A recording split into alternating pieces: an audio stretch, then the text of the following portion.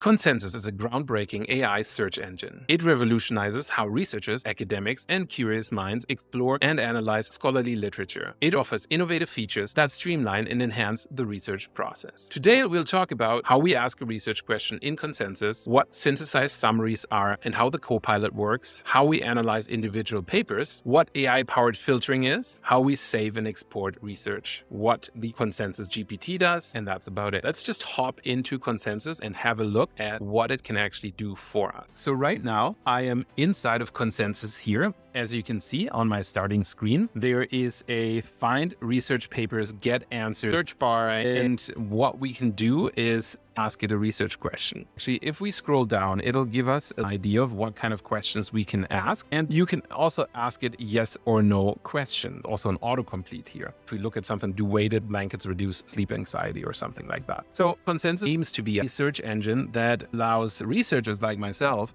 to ask questions to the literature, but also, say, the amateur researcher to get answers that are backed up by scientific literature, which is really great if you're writing a scientific blog or other things like that. So, anyways, if we go here and we ask it a research question, one of the things that we can start with is to try and find a research question with a yes, no, maybe answer, because that's where consensus tries to analyze the literature around something and give us exactly what the name says a consensus so that we know where the literature tends to go. So if I ask it, do brain games make you smarter? I love this one. Do brain games make you smarter? And as you can see here, I've already turned on synthesize. So once you click synthesize, it's not on by default. What you get here is a little summary and it tells you exactly how many papers it analyzed. So in this case, 16 papers. And it tells you some studies suggest that brain games can improve specific cognitive functions and skills in both young adults and healthy subjects, while other studies indicate that these improvements may not generalize to untrained tasks and that the overall evidence for brain games making you smarter is mixed. And you can see that here that maybe the vast majority of papers, 82% out of those 12 papers, are pro brain games improving your brain functionality. Then we have some papers on the fence and we have some papers saying no, right? And as you can see here, it can do up to 20 papers at a time. So this is really a little bit of the limitation here. And also, this is a quick insight. Again, analyze 20 papers at a time. So take it with a grain of salt. Sometimes it is not the actual consensus of all the literature, but it's at least the ones that we can find right away here. Either case, it is a really quick way to get a smart research backed answer to a question that is on your mind that you've been trying to explore here. And what I really love is as you're going through this, it gives you the answers of the papers right away in these little cards cards. Every paper is a little card here. So if we click on this, we get more details. But let's just stay on this scrolling plane here where we can get the overview of all of that stuff. It not only gives you little markers here, and I absolutely, by the way, absolutely love that you just hover over stuff and you get a deeper explanation. You can even click on the learn more button here, right? And it gives you a little tag right here that says, yeah, is this a leaning yes answer? Is this a leaning no answer? You get an idea. Are those papers supporting or refuting the initial question if it's a yes or no question. Super cool way to explore the literature. And then what it has here is with the tags, it allows you to do not only an assessment of the source that you have, knowing that it's highly cited. And as you can see here, this is from a paper in the top 5% of most cited papers in the database that Consensus has. I actually talked with the people at Consensus, and it's really interesting to see how they're using, how they're going beyond just the semantic scholar index papers, but they're also training and building their own approach for understanding the literature. So while right now a lot of the queries are coming in from the literature, and of course, the go to for a lot of AI apps is that they're using Semantic Scholar. One of the things that I actually think is really interesting here is that this is probably opening up to more databases in the future. And they have their own database here. And as the database grows, consensus will only get better. And that is something I'm quite excited about. I like how you can just go to the study snapshot here and you can get some of the key metrics that you might be interested interested in, such as what population did they study? What's the sample size? What kind of methods did they use?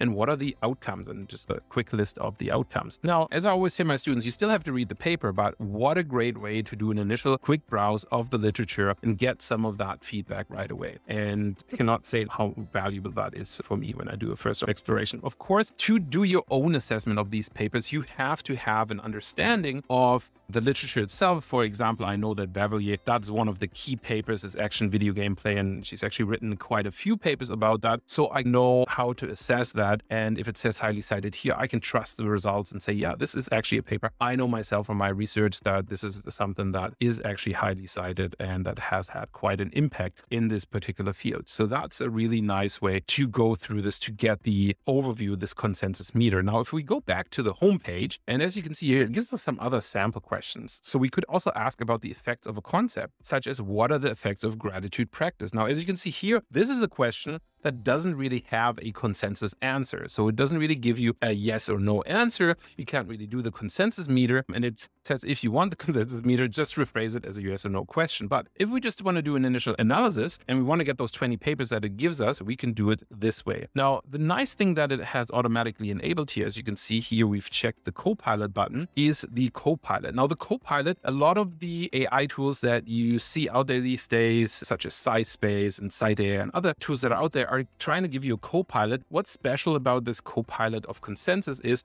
that it kind of ties in with your search strategy. So not only do you have your summary, but the Copilot gives you quick key insights. So you quickly get a scan of the literature that you've had here. And as you can see here, we just hover over the sources and it brings up the source directly. We can click on it and it moves right into the card that we have here. And the card, as I've just mentioned, still has the amazing features that we've had before. RCT, rigorous journal, it gives us the tags. And then we can also save it or cite it. Now, this is actually nice to have the save function because everything that we do can be saved to a list. You can see I'm just getting started with my lists here. You can add it to favorites.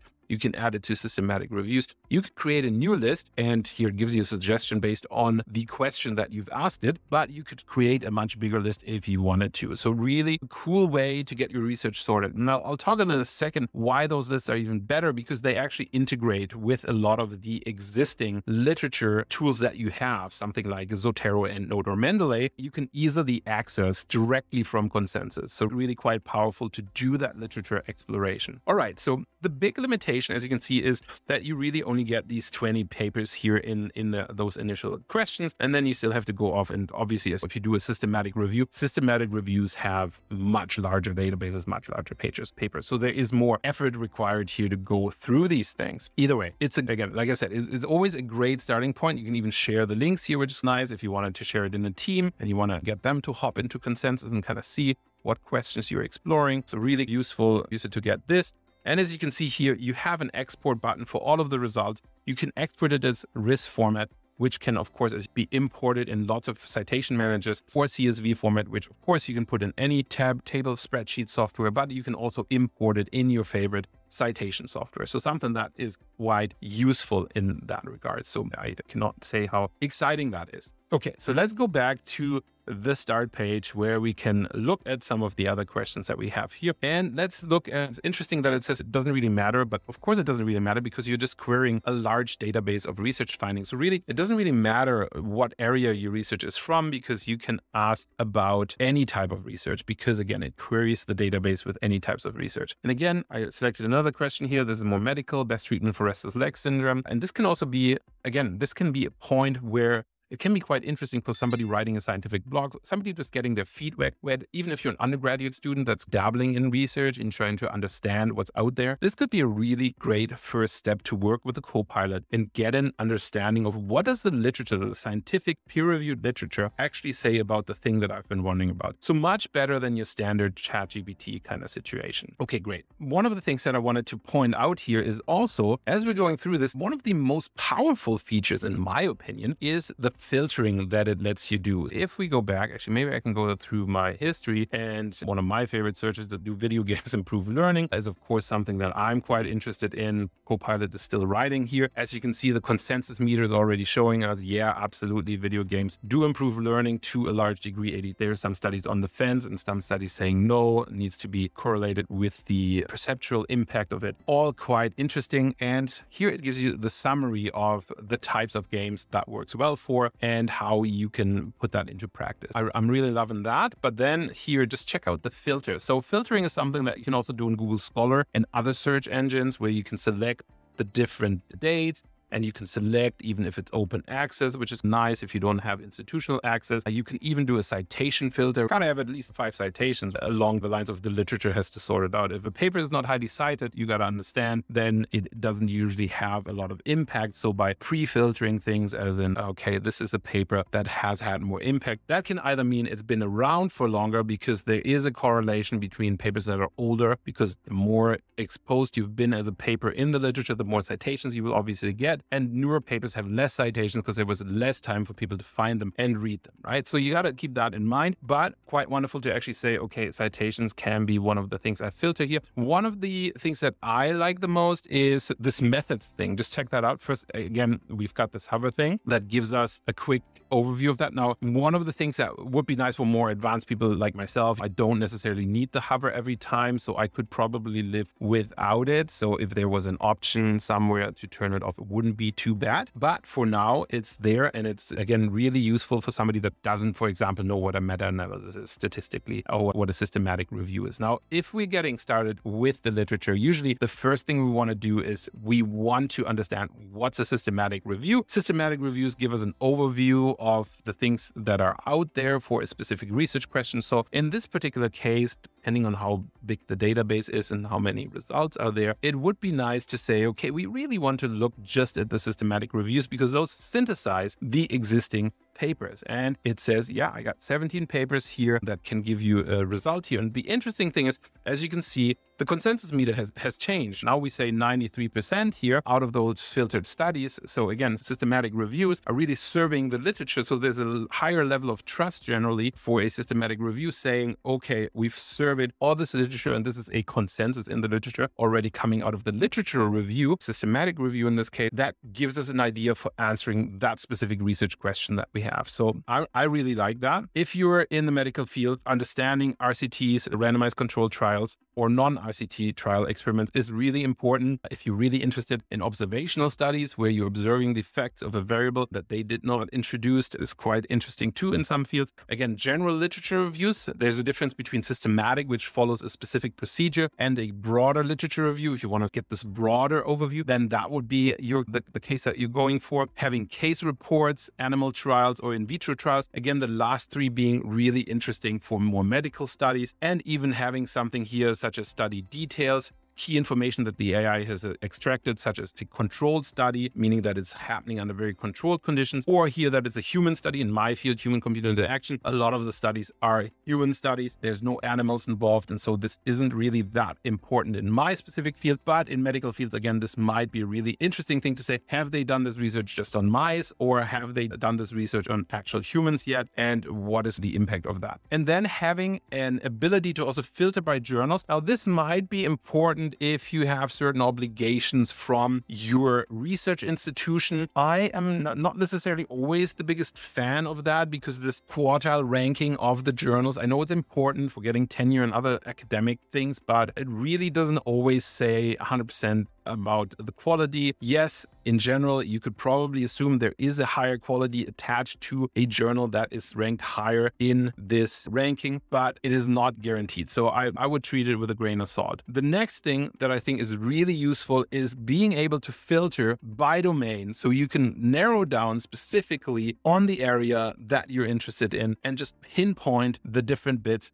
that you really want to know there. Wow. AI powered filtering to me is really one of the things that sets consensus apart that really allows you to drill down deeply into a bit of the literature that you're super curious about. And of course, always being able to save this, save the research to a list, not just saving it into consensus, because then it pops up here under your list. And then we could go to systematic reviews. There's only one in here. But then we could, again, export that entire list. We could look at different searches in that list, but haven't done that yet. One of the things that I want to point out to the people that are using the Zotero connector, which is a plugin, if you're a big Zotero fan, most of us are because it's free. It's one way to use a citation management software. You just right click here and then you have a Zotero connector button. Zotero is safe to Zotero DOI. And if Zotero is running in the background, you can then select the items from your list here and import them by hitting OK. Import them in the library that you have selected in Zotero.